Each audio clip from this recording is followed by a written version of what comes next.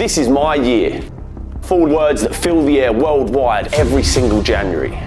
See, what we do in December is we make this big, massive list of things that we're going to change come January.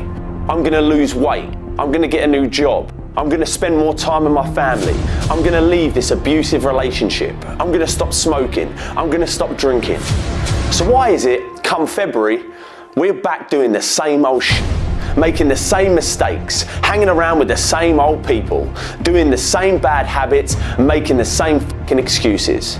This happens every single year, and I'm telling you now, if you don't want to fall into the same old trap that you do every year, then you need to change something else before all that other shit that you put on your resolution list. You need to change your mind. You need to change the way you think, the way you look at the world, the way you look at problems. You've got to change what you believe is possible. Without the correct mindset and belief about what you're capable of or what you will have, you'll have no chance of following through on any of your New Year's resolutions. This will be your year. All you've got to do is get in the right frame of mind. This is your year to get healthy.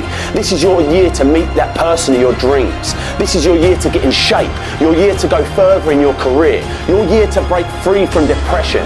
This is your year to chase your dreams. Change the way you think. And this year, you'll transform the rest of your life. Don't let what's happened to you up until this point define what happens from this point on. All this that you've been through in life, all the pain, all the darkness, you have the power to change it from this day forward, but you have to change your mind. Let this be the year where you get up off the ground, out the dirt. Let this be the year that you get the passion for life that you never had before.